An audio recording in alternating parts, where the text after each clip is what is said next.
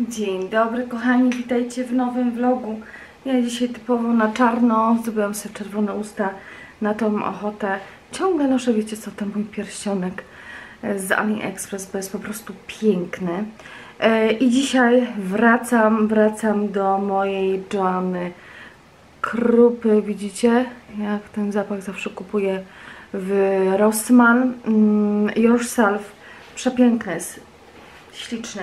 A tutaj, tak moi drodzy, tu jest ogromne pudło um, rzeczy, które znów zamówiłam na Zalando do serii w przymierzalni, e, więc na pewno wyczekujcie, bo to będzie taki e, temat top, e, bo powiem Wam, że tych rzeczy mi brakowało. I przepraszam Was bardzo, właśnie woda mi się gotuje, wrzątek. Ok, wrzątek nalany. Moi drodzy, tak jeszcze w kwestii wstępu chciałam Wam powiedzieć e, właśnie o produkcie z Farmony. Bardzo, ale to bardzo zawiodłam się na tej marce. Kiedyś, jak ja brałam e, coś z półki, gdzie było mm, gdzie była nazwa Farmona, wiedziałam, że to jest świetna, dobra jakość. Tutaj wiecie, że kupiłam taką większą ilość e, produktów właśnie Farmony i cieszyłam się jak dziecko, bo wierzyłam, że to będzie dokładnie taka sama jakość.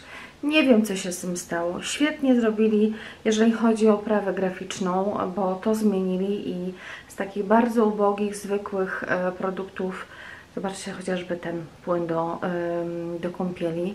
No przepiękny. Później zobaczcie nawet takie o Świetne dodatki, pięknie, naprawdę pięknie to jest e, zrobione. Natomiast sam płyn, moim zdaniem, nie robi nic. Robi tylko delikatną pianę. Jeżeli miałbym powiedzieć tak szczerze, z ręką na sercu, czy ja czuję cokolwiek w tej wannie, tutaj miał być e, jakaś delikatna wanilia. Serio? Ja tutaj nic nie czułam. Nic nie czułam, więc... E,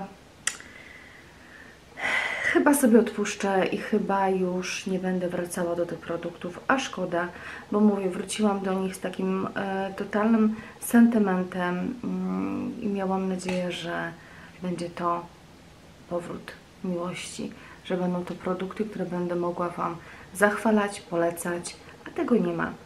Więc skoro tego nie ma, ja Wam tylko mówię, szkoda pieniędzy.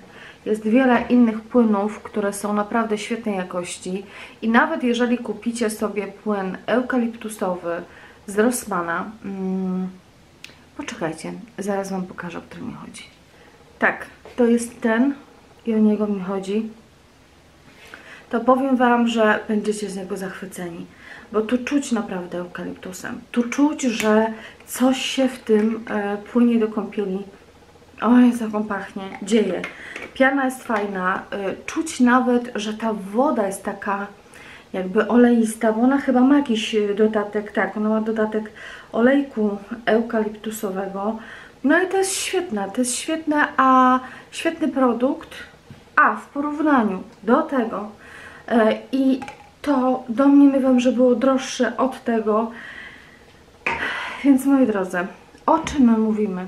Więc ja się już nawet nie zastanawiam i nie wiem, czy jeszcze mi coś zostało z tej farmony. Może jeszcze jeden jakiś e, zapach, ale powiem Wam szczerze, że no, no, no, nie będę tego polecała, nie będę o tym mówiła. Yy, nie, to chyba, że coś się zmieni. Nie wiem, nagle się coś odmieni, yy, stworzą jakąś nową serię, bo ta świąteczna bodajże, nie wiem, czy ona była świąteczna, czy nie, no niestety, nie. Być może jakbym wybrała, nie wiem czy oni w ogóle tam mieli jakieś e, olejki do kąpieli, być może tamta opcja byłaby znacznie lepsza. Natomiast zwykłe płyny do, do kąpieli, no niestety, ja uważam, że to jest strata pieniędzy. Dobrze, kochani, i to tyle w kwestii wstępu. Ja Was oczywiście zapraszam do oglądania tradycyjnie Zasiadajcie, zabierajcie sobie coś dobrego do jedzenia, do picia, na co tylko macie ochotę. A my co? Zaczynamy!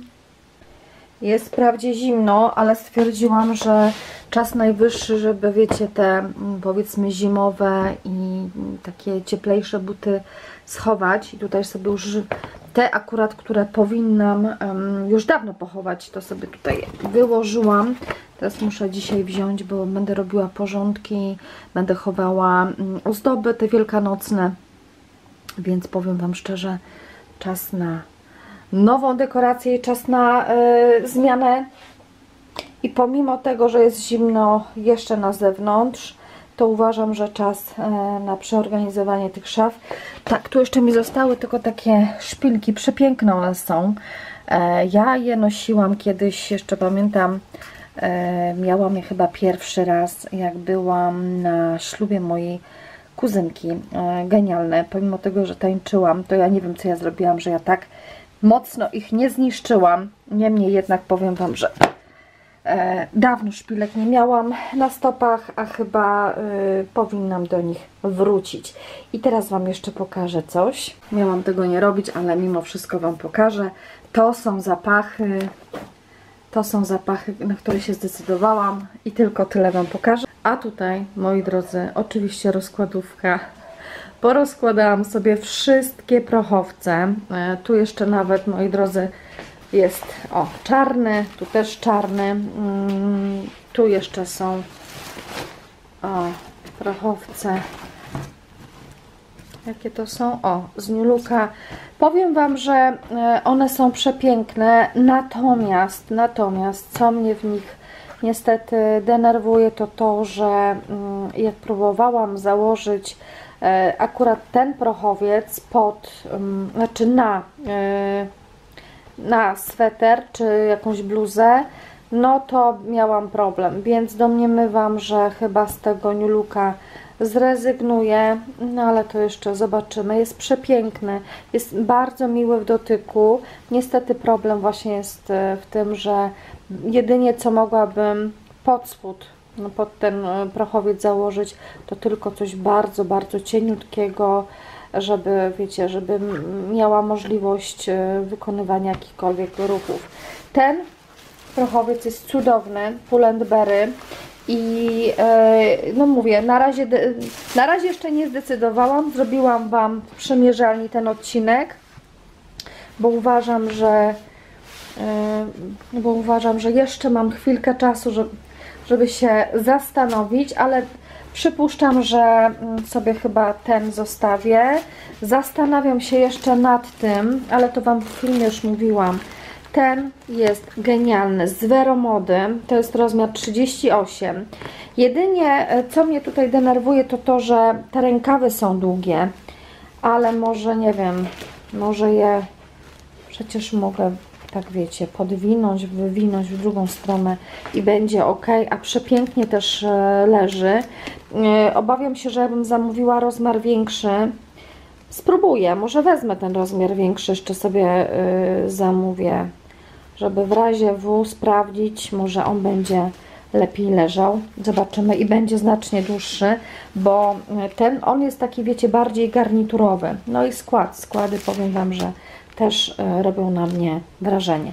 Tak czy inaczej, moi drodzy, teraz rozgrywa się naprawdę wielka walka w mojej głowie, który zostawić, który oddać.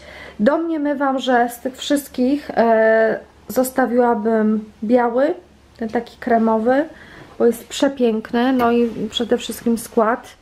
Nie wiem, czy ja gdzieś tutaj znajdę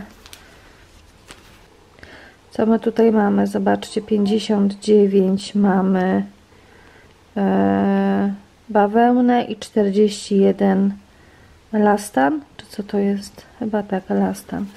Więc jak najbardziej Podoba mi się, podoba mi się to, na co się zdecydowałam. Znaczy jeszcze się nie zdecydowałam, jeszcze trwa, mówię, wewnętrzna walka, bo muszę to zrobić naprawdę rozsądnie, bo chcę, żeby te rzeczy zostały ze mną na lata.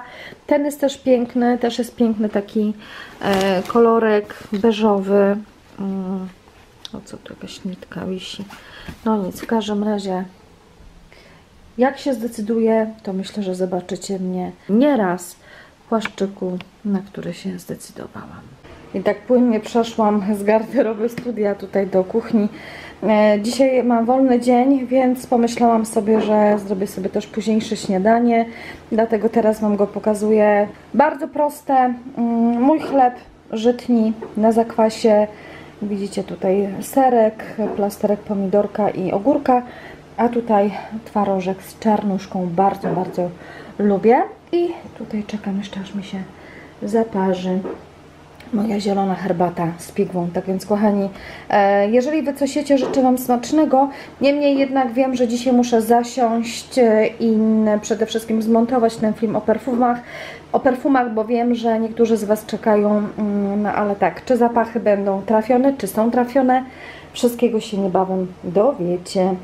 Kochani, tak, tu możecie zobaczyć pudło. Już nagrałam dla Was materiał, który domniemywam, że ukaże się w najbliższą środę, mm, a będzie to w przymierzelni.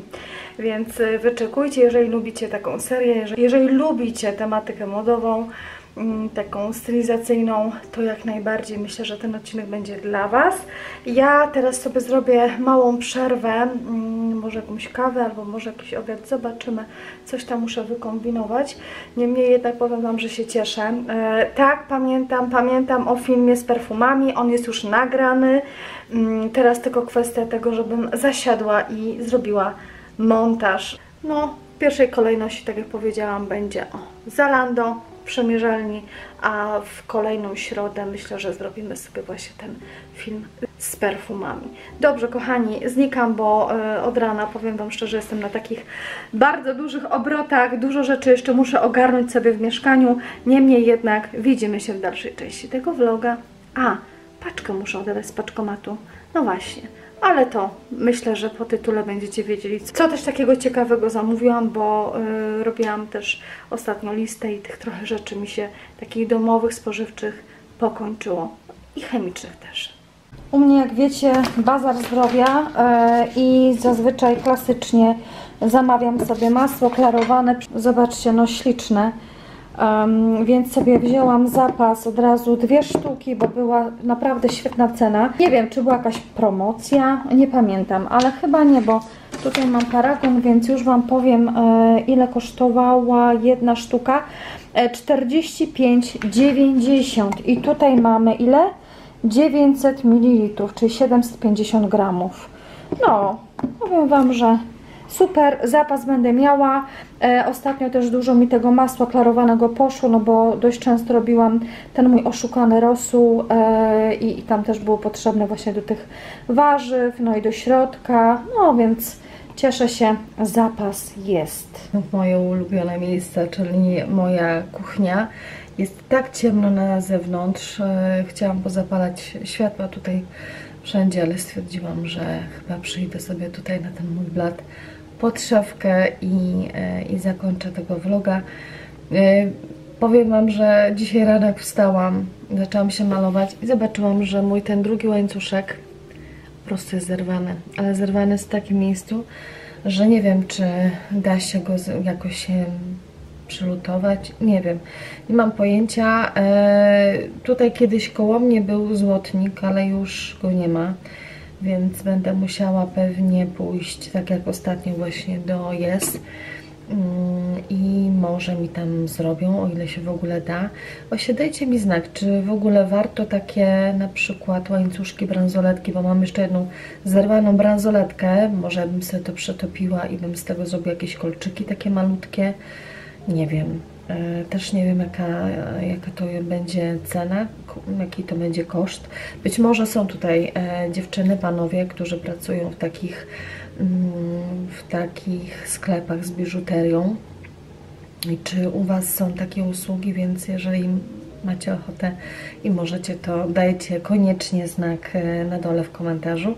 A ja tak powiem Wam szczerze, na ten koniec tego vloga przychodzę taka totalnie wyciszona, mm, ale to nie wynika z tego, że jestem wyspana, czy, czy po prostu jestem z czegoś zadowolona, tylko mm, wczoraj miałam też taką bardzo burzliwą rozmowę z kimś i powiem Wam, że na koniec tej rozmowy e, doszłam do takiego wniosku, że ja chyba już nie chcę, wiecie, w życiu się spalać i przepalać tych swoich e, emocji e, na rzeczy, które i tak wiem, że ktoś nie zrozumie, Um, nie chcę robić te rzeczy, które do niczego tak naprawdę w konkluzji nie prowadzą, a wręcz przeciwnie, mogą być dla mnie, dla mnie destrukcyjne. E, I też zauważyłam, że jest wiele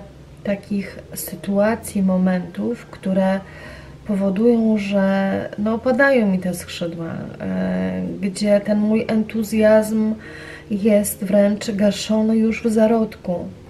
E, są sytuacje takie, o których być może tutaj nigdy Wam nie mówiłam, ale ja jestem takim człowiekiem, że lubię mówić wprost, jeżeli sobie z czymś nie radzę. To znaczy, jeżeli czegoś nie potrafię, to mówię, nie umiem, nie wiem jak to zrobić, spróbuję. E, ja się nie poddaję oczywiście. Mm, no i po drugiej stronie, jeżeli słyszę, no ty nie dasz rady, kto jak nie ty?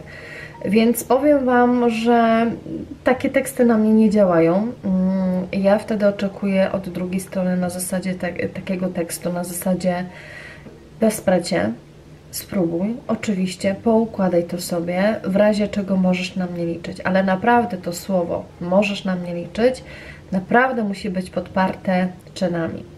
Ale znów w drugą stronę, jeżeli ja na przykład mówię, że E, chcę coś zrobić, mam jakiś fajny plan, chcę to wdrożyć i po drugiej stronie słyszę, e, może to nie jest najlepszy pomysł, może tego nie rób, e,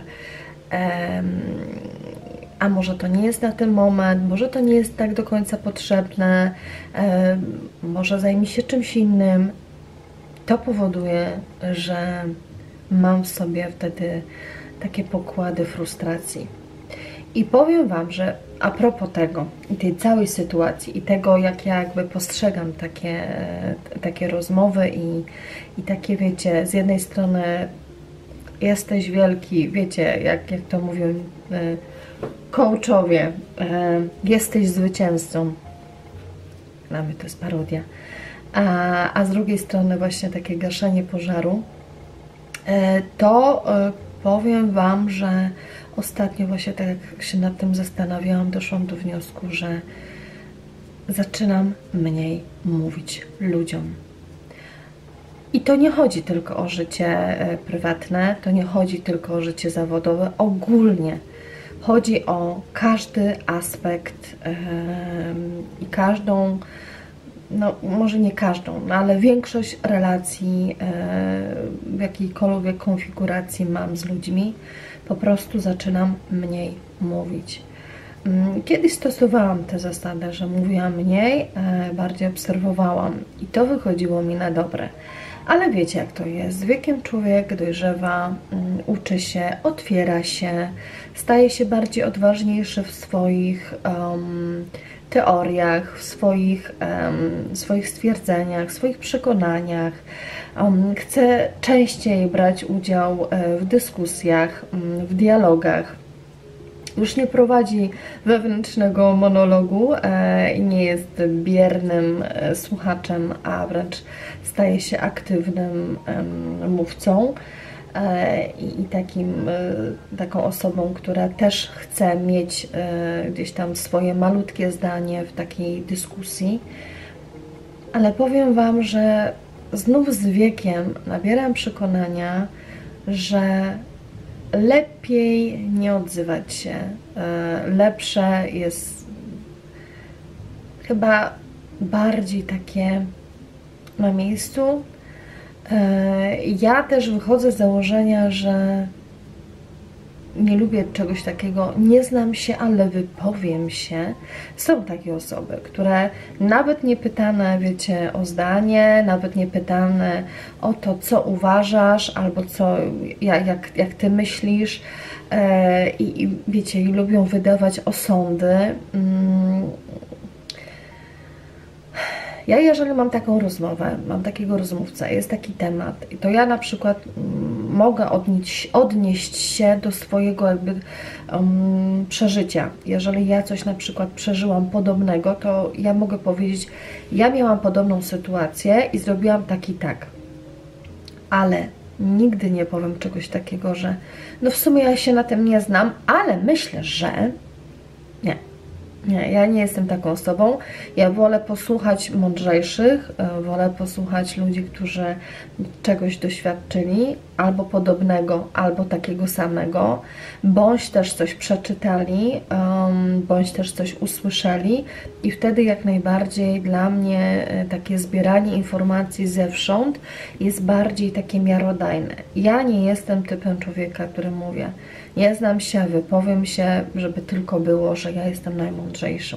Nie, bo ja nie jestem najmądrzejsza. E, I powiem Wam, że właśnie z biegiem lat, bo taka właśnie refleksja mi też po tym wszystkim naszła teraz, e, z biegiem lat mi się wydaje, że mm, ta pokora, e, chociażby w wyrażaniu swoich opinii, to też jest, myślę, bardzo ważna cecha w człowieku bo to prowadzi do tego, że umiejętnie słuchamy drugą stronę.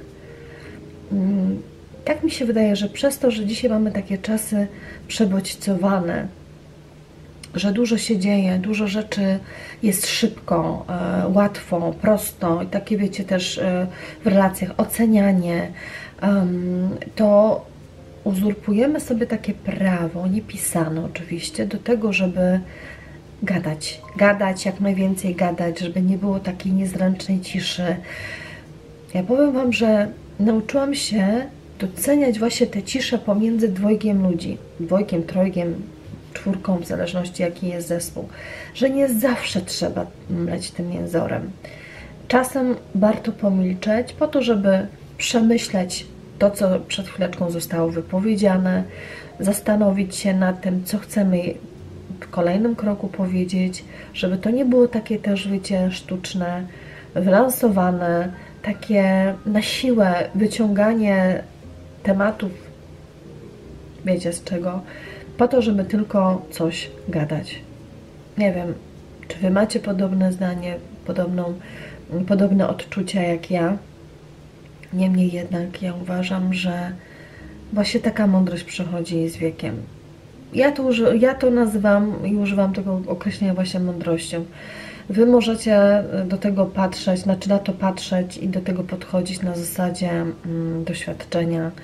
E, bądź też możecie stwierdzić, że to jest głupota. No, no nie wiem, no każdy ma swoje zdanie. Ja uważam, że taka pokora, chociażby właśnie w takich relacjach między ludźmi, też jest ważna, też jest potrzebna.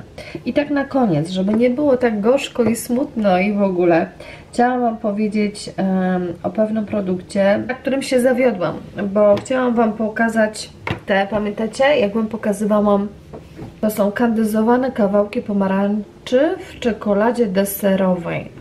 I ja to opakowanie kupiłam w Lidlu.